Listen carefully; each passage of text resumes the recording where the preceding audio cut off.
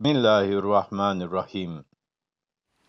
Bulugul Meram Hafız İbni Hacer el-Eskalani rahmetullahi aleyhin kaleme aldığı eserde okumaya devam ediyoruz.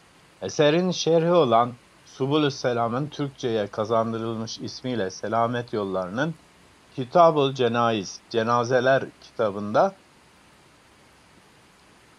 598 sayılı hadisi okuyoruz. Ve an Ayşe radıyallahu anha.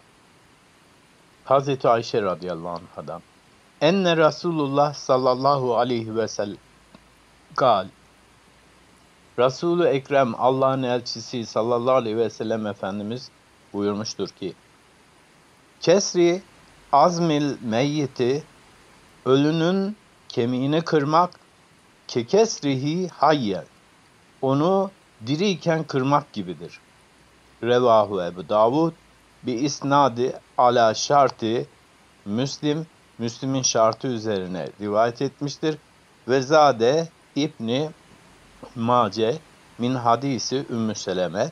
İbn Mace de Ümmü Seleme radıyallahu anha annemizin hadisi olarak rivayet etmiş fil esm.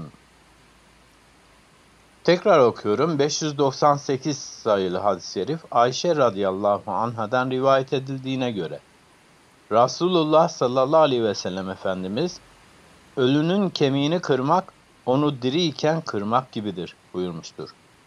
Bu hadisi Müslim'in şartı üzerine bir isnatla Ebu Davud rivayet etmiştir. İbn Mace yine bu hadisin Ümmü Seleme rivayetinde günah hususunda ifadesini ziyade etmiştir. Hadis-i şerifte diriye hürmet edildiği gibi ölüye de hürmetin lazım geldiğine ve dirinin elem duyduğu gibi ölünün de elem duyduğuna delalet eder. Delalet vardır.